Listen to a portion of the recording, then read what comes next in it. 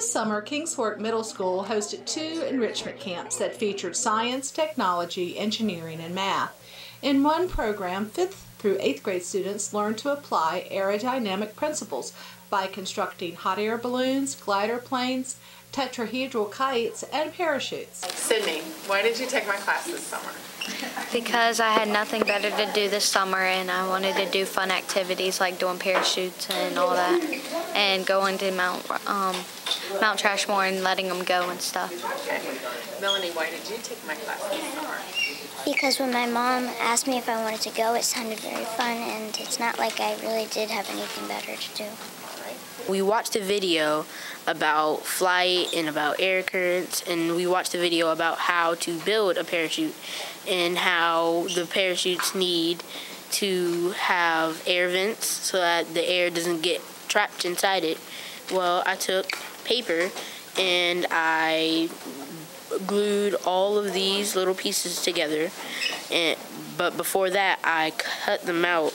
I want to make sure my parachute is good by uh, making sure all the strings are even together so that they so the parachute can fall down straight and making sure the shape of the parachute is as even as it can be so that it falls down good and safely.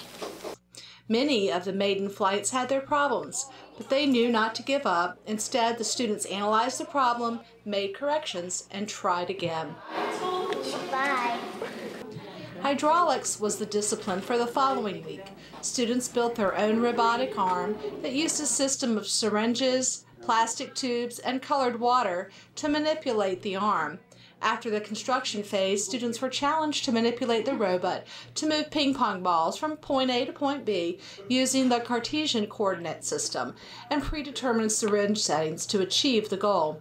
Meanwhile, down the hall at the Tidewater Governor's School for Science and Technology, they also sponsored a two week STEM program that also focused on aerodynamics. This year, we our theme is exploring new horizons, and we are looking at the history of aviation and rocketry from the beginning of time.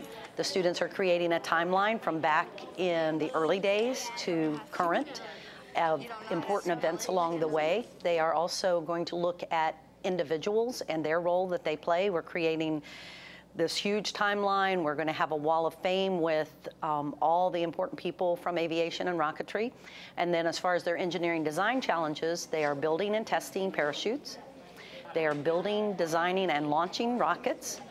They are building and testing hot air balloons and gliders. And they will, each of those, they will have certain criteria where they can go back because a major part of this whole process is to build something, test it, and then go make changes to make it work better.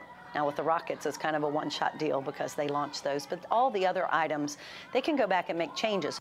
Under close supervision from a rocket launching expert, students pushed the button that launched their rocket.